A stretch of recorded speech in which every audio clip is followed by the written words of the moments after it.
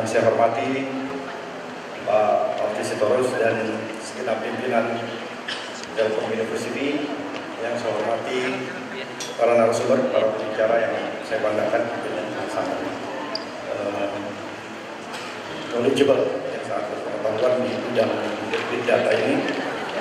Yang saya hormati panitia pelaksana ID Big Data Solusi 247 dan ada beberapa sponsor di belakang saya ini yang juga berpartisipasi dalam konferensi Big Data ini. Ada di mahasiswa yang saya cintai, saya banggakan dan sangat kita harapkan, sangat bangsa ini harapkan untuk uh, mendukung kemajuan bangsa ini ke depan. Assalamualaikum warahmatullahi wabarakatuh. Selamat pagi, salam sejahtera untuk kita semua. Uh, Alhamdulillah pagi ini kita berkumpul di sini untuk membahas satu isu yang penting, paling tidak untuk uh, masa mendatang hari ini dan masa mendatang dari Indonesia tentang big data. Kenapa isu ini menjadi penting? Uh, karena begini, kita hidup di mana kalau saya bilang data is king, data itu adalah kunci bisnis, kunci kemajuan bangsa, dan kunci penguasaan sebuah wilayah secara geopolitik. Siapa yang menguasai data, dia akan mampu mengeksplorasi sebuah wilayah. Sedemikian pentingnya data itu sehingga peperangan merebut data itu juga sedang terjadi luas. Mungkin nanti teman-teman dari Kemhan bisa bisa lebih mengeksplorasi. Dan Indonesia yang sedang sibuk membangun infrastruktur sampai ke desa-desa, menggelar kita lebar sampai seluruh uh, kabupaten Indonesia. Kita punya program sampai 2014 untuk menghubungkan seluruh kota-kota di Indonesia dengan backbone fiber optik yang 90% dihubungkan oleh PT Telkom dan 10% sisanya di mana yang 10% itu sudah secara ekonomi, secara bisnis tidak mungkin dibangun oleh swasta itu pemerintah hadir dan Kominfo akan melelang 10 sisa kota-kota utamanya di Indonesia Tengah dan Indonesia Timur untuk dibangun juga backbone. Kita juga sedang refarming 1800 MHz sudah selesai bulan November kemarin untuk 4G. Kita akan ikuti dengan 2100 MHz 2,1 kemudian 2,3 kita rapikan. Kita akan siapkan infrastruktur wireless uh, GSM kita atau GSM teleponi kita untuk bisa masuk ke 4G dan bersiap-siap mungkin 5-10 tahun mendatang ke 5G. Dengan ini artinya satu, kita memberikan karpet merah kepada data transaction. Transaksi data itu akan sangat lancar dan akan menjadi king, akan menjadi raja. Ya bahkan voice pun nanti akan berjalan di atas infrastruktur data. Jadi, uh, insya Allah kita dalam jalur yang tepat kalau kita menyiapkan bangsa ini sejak saat ini untuk mengantisipasi era big. Makanya saya berterima kasih kepada komunitas lain big data dan seluruh um, pendukungnya bahwa kita sedang menyiapkan Indonesia untuk menyongsong big data ini.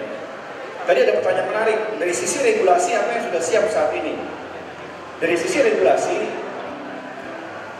satu-satunya yang mengatur tentang data itu adalah PP 82 turunan dari Undang-Undang ITE tentang kewajiban seluruh perusahaan nasional dan multinasional di Indonesia yang melayani publik untuk memiliki server di Indonesia. Karena kita membutuhkan data orang Indonesia itu adalah data yang penting di bangsa Indonesia. Sehingga penguasaannya juga harus ada di Indonesia. Walaupun dari sisi teknologi, kita semua orang teknologi tahu, di era cloud ini agak kontradiktif kalau kita mengharapkan ada server di Indonesia. Karena cloud, ya servernya bisa di mana-mana. Tapi kita berbicara cross sektoral, maksud dengan APH, aparat penegak hukum memerlukan akses ke server, memerlukan akses ke data center, ke storage pada saat terjadi kejahatan, cybercrime, financial crime, dan lain-lain yang melibatkan transaksi elektronik dan cyber. Karenanya PP itu sekarang masih berlaku, ya dibicarakan bagaimana implementasinya yang tidak kontraproduktif dengan dengan kemajuan teknologi, namun sisi itu ada. Jadi itu adalah data yang ada di Indonesia. Apalagi regulasi data yang dipersiapkan. Yang sedang dipersiapkan kemudian adalah RUU perlindungan data pribadi. RUU perlindungan data pribadi ini sedang uh, sudah dipersiapkan oleh Kementerian Kominfo, cuman belum masuk prolegnas. Ini adalah undang-undang Privacy Act kalau di luar negeri yang Indonesia termasuk sedikit negara yang belum punya Privacy Act. Karenanya sekarang kita sangat dirugikan dengan jual beli data yang terjadi di mana-mana. Karena belum ada undang-undangnya. Mudah-mudahan undang-undang ini eh, mohon dukungan juga dari semua stakeholder bisa masuk prolegnas dan mudah-mudahan bisa dalam setahun dua tahun mendatang ini bisa bisa bisa berlaku di Indonesia. Nah, hadirin yang saya muliakan, eh, saya ingin kembali ke topik hari ini.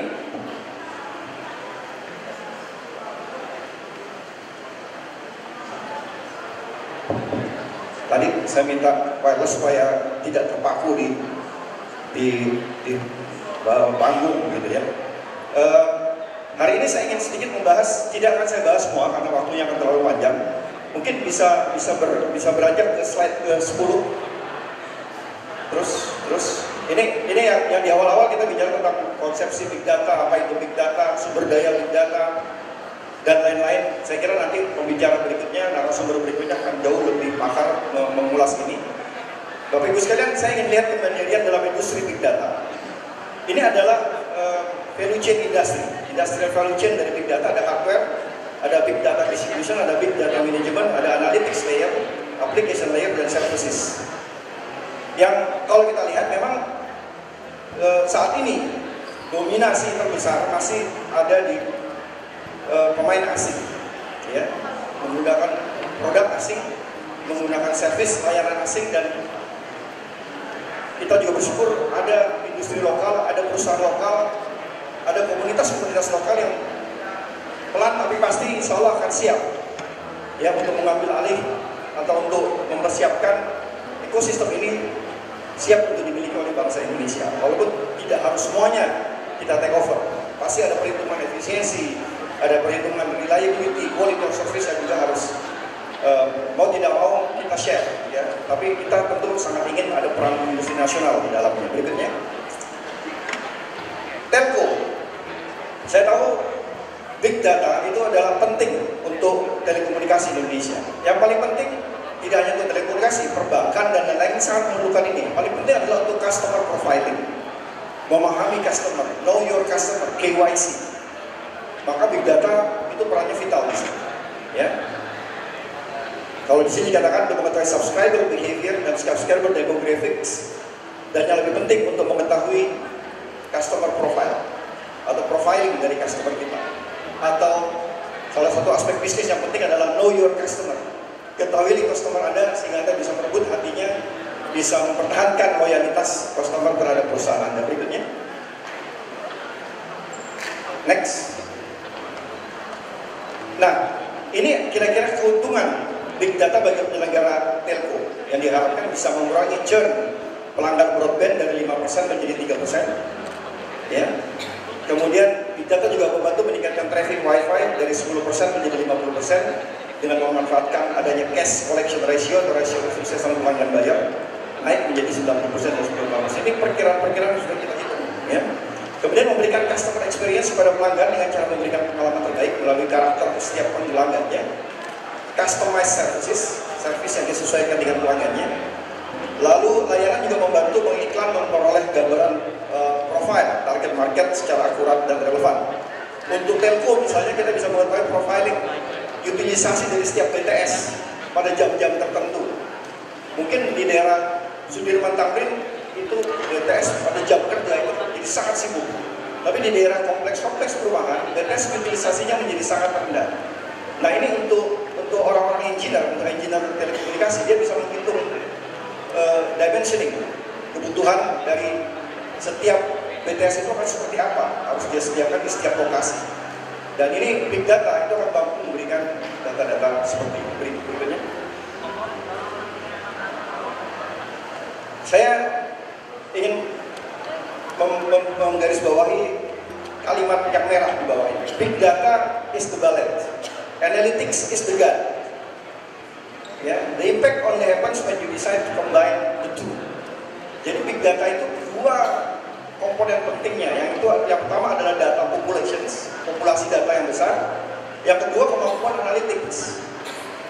Tadi di obrolan pagi saya selalu kalau ke kampus saya bilang ke teman-teman di kampus, rekan-rekan saya, para dosen, untuk mulai mempersiapkan SDM di kampus itu untuk mengambil S2, S3 dalam bidang, bidang data scientist. Data scientist. Kita butuh banyak data scientist. Kalau kita mau siap untuk big data. Karena big data tanpa data analytics, nothing, nggak bisa diapa-apain. Dia nggak bisa kita ubah menjadi informasi, nggak bisa kita ubah menjadi key informations. Kalau kita nggak punya kemampuan analytics. Dan saya tahu negara tetangga kita, Malaysia misalnya sudah mulai mengirim puluhan S2, S3 mereka untuk mengambil bidang khususan data scientist. Dan Telkom University bisa juga mulai, kalau nanti kita-kita uh, Pak Aldi tadi mengatakan akan membangun data, Big Data Innovation Center, maka salah satu komponen terpenting di Data Innovation Center, Big Data itu adalah data analytics, data scientist. Jadi uh, ini kita harus persiapkan SDM. Berikutnya. Uh, next. Uh, ini adalah ekosistem big data, mulai dari pengumpulan data, representasi data, di dalamnya ada data analytics, lalu ada pengguna data dan kebijakan regulasi. Saya secara khusus ingin minta tolong kepada seluruh stakeholder, kepada uh, komunitas. Ayo kita dicari kebutuhan regulasi apa, kebutuhan uh, suprastruktur apa yang dibutuhkan. Nanti kita bicarakan bersama dengan pemerintah, dengan regulator, bagaimana kita bisa secara fair membangun uh, membangun regulasi kita sehingga industri nasional tumbuh, ya. Dan uh, ada juga kita juga tetap mengundang investasi di dalam, investasi asing di dalam di dalam negeri. Karena kedua-duanya dibutuhkan. Sama, kemarin Menteri Kominfo di sidang ASEAN, Menteri-Menteri Telekomunikasi ICT ASEAN yang mengatakan Indonesia menginginkan terjadinya revenue sharing yang lebih adil antara OTT dan infrastructure developer. Karena sekarang revenue lebih banyak ada di OTT, sementara Indonesia masih butuh membangun infrastruktur sampai ke daerah-daerah. Indonesia menuntut adanya pembagian revenue, revenue sharing yang yang lebih adil ya antara OTT dan penyedia infrastruktur. Ini saya kira notion ide atau prinsip yang sangat bagus dan sedang kita coba bangun di Asia. Bapak Ibu sekalian, mohon diketahui negara-negara berkembang seperti Indonesia sedang membangun itu masih membangun infrastruktur sampai pelosok-pelosok kita butuh infrastruktur. Kemudian revenue sharing sebagian besar revenue itu tergerus oleh OTT. Dia adanya di OTT ya di Facebook, WhatsApp, Google dan lain-lain. Kita dan kalau kemarin dibahas di media dia tidak membayar pajak ke Indonesia dan pemerintah kita sangat membutuhkan pajak-pajak itu untuk membangun infrastruktur. Jadi kenapa? Karena di negara-negara maju, Eropa, Amerika, masalah infrastruktur hampir-hampir sudah selesai. Mereka berbicara tentang value added services, nilai tambah. Maka mereka bergerak ke OTT. Infrastruktur belum tuntas. Kita infrastruktur belum tuntas. Kalau penyelenggara infrastruktur seperti PT Telkom ini tidak lagi mendapatkan revenue yang cukup, maka infrastruktur tidak akan bisa terbangun di seluruh pelosok Indonesia. Sementara kita butuh infrastruktur. Jadi ekosistem ini harus kita lihat secara berimbang. Mana ekosistem layanan, mana ekosistem penyediaan infrastruktur, mana juga nanti user dan bagaimana revenue itu bisa di-share secara adil di antara semua uh, stakeholder ini. Berikutnya. Next. Baik, ini adalah kemampuan infrastruktur dan platform infrastruktur untuk mendukung big data. Ada dari uh, latensi yang harus rendah karena kecepatan transaksi, lalu mampu mendukung fleksibilitas struktur data yang dinamis, mampu mendukung proses analisa, mampu menangani volume transaksi yang besar. Tadi saya katakan dengan dengan kita menuju ke broadband, kemampuan jalan tolnya itu ada. Ya lalu bagaimana kita kemudian menampung data yang besar ini supaya tidak semuanya keluar. Saya ingin katakan profil user pengguna internet Indonesia yang punya itu bukan operator telco. Karena 90% kita adalah prabayar dan data prabayar kita sebagian besar bodong. Anda isi apa saja harus diterima data prabayar. Itu yang akan kita rapikan per 18 Desember nanti.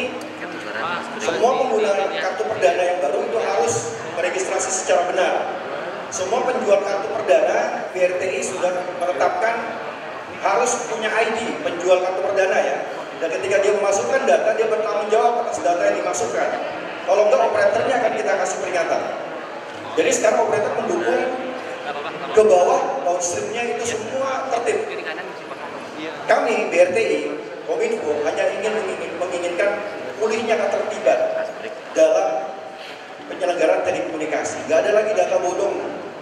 Anda tamat, fulan, alamat, gang kubur, jalan mayat, gang kubur, nomor 1001. Itu nggak akan ada alamat itu di Indonesia. Dan data prabayar kita, kenapa sekarang terjadi penipuan yang banyak itu di antaranya karena datanya bodong. Yang lebih jelek, kalau terjadi kejahatan, kepolisian tidak bisa menelusuri sampai ke ujung. Jadi kuncinya satu saya bilang, kalau tidak ini tertib, kita punya kemampuan traceability, menelusuri crimes sampai ke ujungnya.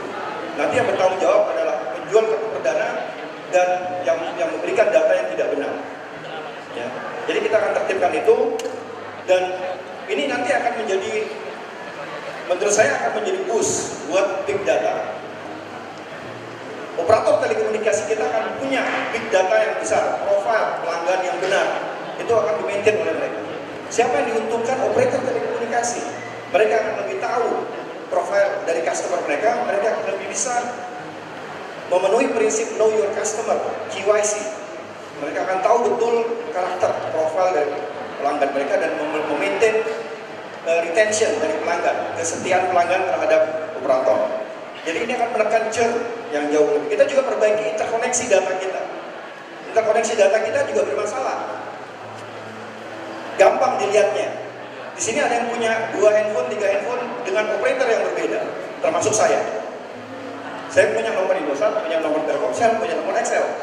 Kenapa? Karena interkoneksinya nggak benar. Nelpon dari inter, inter Telkomsel ke Indosat mahal. Indosat Excel mahal. Akhirnya kalau mau nelpon Mas Budi Raharjo, Telkomsel, saya pakai Telkomsel. Karena murah. Itu ada yang tidak beres di interkoneksi. Kita kalau interkoneksi pengaturannya itu benar, kita hanya punya satu nomor cukup karena deltanya itu nggak akan jauh. Nah ini kita, kita sedang atur mudah-mudahan akhir tahun ini kajiannya selesai awal tahun depan kita targetkan tarif baru interkoneksi itu berlaku. Ini akan mendorong operator telekomunikasi kita menjadi lebih sehat. Ya, nggak lagi jor-joran, gratis sama XL. Revenue-nya mana gitu? Paling enak dia harus at cost. Bagaimana production cost itu harus balik ya. Berikutnya, uh, next. Nah, kira-kira ini adalah tujuh uh, faktor yang akan menentukan big data sukses apa tidak. Lima, Pak. Yang pertama adalah trustworthy. Apakah ekosistemnya itu trustworthy? kita bisa melakukan transaksi data secara aman, ada service level agreement, ada sertifikasi, ada licensing regulations. Lalu yang kedua, secure and vulnerable. Transaksi di dunia cyber, di dunia transaksi elektronik, dia meningkat kalau kita yakin dia secure. Ya data privacy regulations, data protection regulations, network security regulations. Lalu yang berikutnya adalah data standardization. Ini untuk memungkinkan open data, memungkinkan data interoperability antar satu provider, satu operator dengan operator lain. Itu ada standardization regulation. Lalu ada efficient, ini penting licensing regulation, industry composition juga jelas. Mana yang pemain infrastruktur, mana pemain service, mana pemain data services, applications, dan lain-lain. Yang terakhir adalah reliable. Yang kita bicara reliability, kualitas jaringan kita, kualitas untuk sistem big data kita juga harus kita pertahankan. Berikutnya, Kesimpulannya apa? Big data merupakan peluang bagi seluruh pelaku usaha. Pemerintah dan masyarakat dalam mengoptimalkan strategi mencapai sasaran yang lebih efisien, efektif, dan fokus. Sumber daya big data nasional yang tercipta dalam negara kesatuan Republik Indonesia harus diproteksi dan dioptimalkan. Mungkin bukan diproteksi dalam arti kita isolasi, ya, tapi kita berikan keberpihakan yang cukup kepada pada industri nasional dan pemain-pemain nasional kita.